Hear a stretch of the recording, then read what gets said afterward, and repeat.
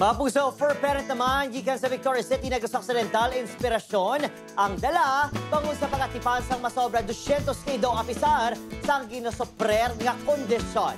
Ang istorya gitutukan ni Eileen Pedreso. Nag-umpisa lang sa 30 ka mga ido nga iyan rescue.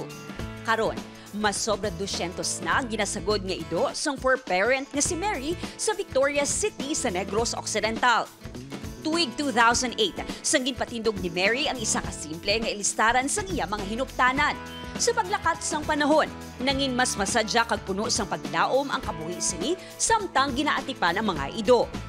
it just came. I was just very lucky to grow up with parents na who were very fond of animals.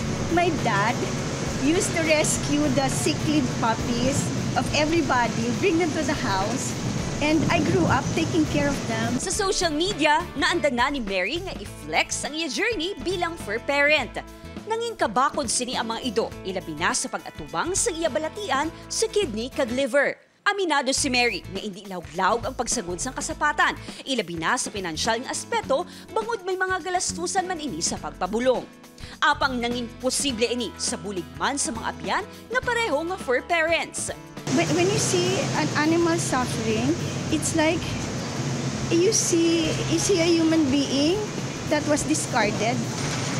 It, it connects to you when you heal them, you are healed. Parang yung, yung, ang imo spiritual um, being, ang, ang face mo and everything is like it's uplifted.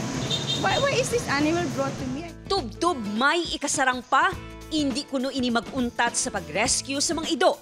Bangod ini ang iya misyon nga pagapadayunon. Upod Keruel Banggoy, Eileen Pedraso. One Western Visayas.